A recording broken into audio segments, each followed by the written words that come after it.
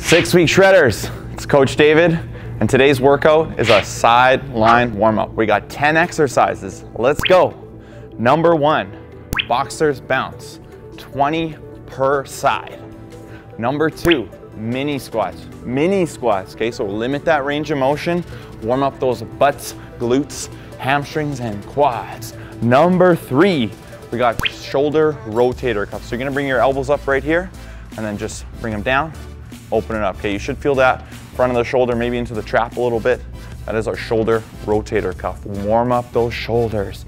Next up, we got foot sweepers. So step in front of you, keep that leg straight, reach down, sweep the floor. You should feel a nice pull in the back of your legs. Okay, we got 20 per side. Number five, military press. Soft knees, core tight, stand up, push both hands over your head. Try to keep it nice and even warm up those shoulders, okay? If you hear some clicking, it's okay.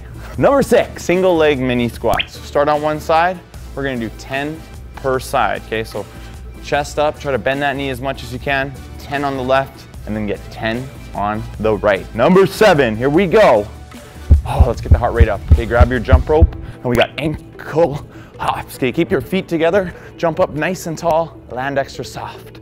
Number eight, we got elbow to knees. Drive that knee up, right up to that elbow. You got this. All right, let's go. Number nine. Now, we got those full squats. Okay, keep the chest up, bend both knees, get as low as you can. Warm it up.